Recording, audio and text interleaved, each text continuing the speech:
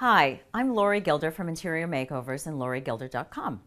And today I'm here in gorgeous Malibu talking to you about thrifty decorating ideas for your condo. Now, it can be as simple as taking a walk to your beach, filling up some jars of sand, shells, sea glass, combining them all together, coming home and putting together a beautiful beach centerpiece for your dining table. Decorating a beach condo does not have to be an expensive proposition. In fact, head down to some thrift stores, antique markets, or even salvage yards and pick up some really fabulous relics like a, an old window, a door, and repurpose them and make a fabulous headboard for your bedroom in your beach condo.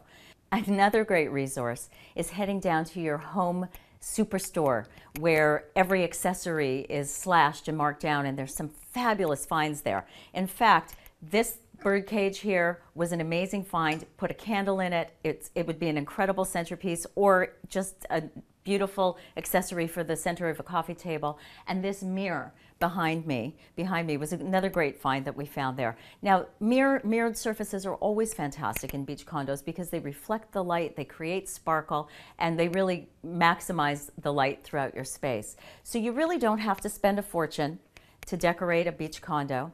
Again, I'm Lori Gilder, sharing thrifty beach decorating ideas with you from beautiful Malibu. If you have any questions, you can find me at lorigilder.com or on my blog, diaryofarenovation.com. I hope to see you there.